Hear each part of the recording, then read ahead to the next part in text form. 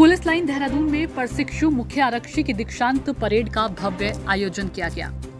Parade में बतौर मुख्य अतिथि राज्य के डीजीपी अभिनव कुमार ने शिरकत की।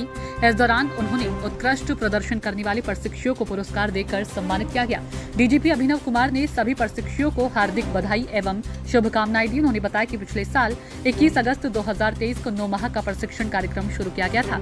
इसमें दो सौ इकतीस मुख्य आरक्षी पुलिस दूरसंचार का प्रशिक्षण आज पूरा हो गया है।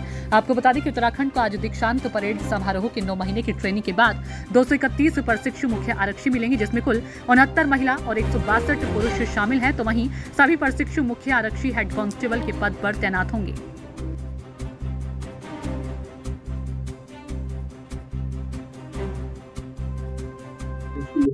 देखिए, ये पिछले वर्ष अगस्त 2023 में हमारे दो सौ इकसठ मुख्य आरक्षी दूरसंचार के प्रशिक्षण प्रारंभ हुआ था, जो आज 28 मई 2024 को पूरा हो रहा है। और पुलिस विभाग के लिए और विशेष रूप से हमारे दूरसंचार विभाग के लिए आज बड़ा खुशी का दिन है, बड़ा गर्व का दिन है जिस तरीके की परेड इन मुख्यारक्षियों ने प्रदर्शित किया। जिस उच्च कोटि का अनुशासन बिल और मतलब सारा अपनी कार्रवाई इन्होंने दिखाई। तो मुझे लगता है कि आने वाले समय में ये पुलिस विभाग की पूरे मनोबल के साथ, बहुत अच्छे अनुशासन के साथ, बहुत अच्छे कार्य, कुशलता और दक्षता के साथ सेवा देंगे।